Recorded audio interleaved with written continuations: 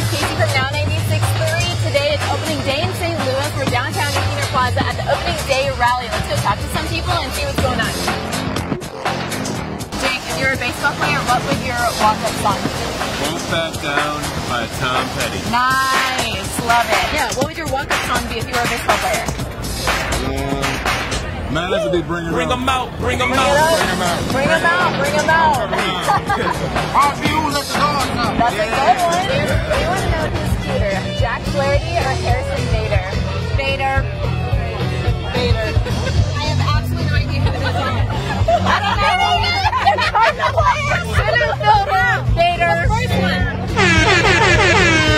Oh, Bader. So hard. Nine Heather. If you guys were baseball players, what would your walk-up songs be? Probably something by Metallica. It's something you got to put thought into. Ooh, Panic at the Disco, high hopes. High hopes for the Cardinals game. That's right. Or Josh and Jamie, if you guys were baseball players, do you know what your walk-up song would be? So my soul walk-up song would be uh, something Celine Dion. Celine Dion. Powerful. Mine is Rocky song. Ooh, yeah, classic.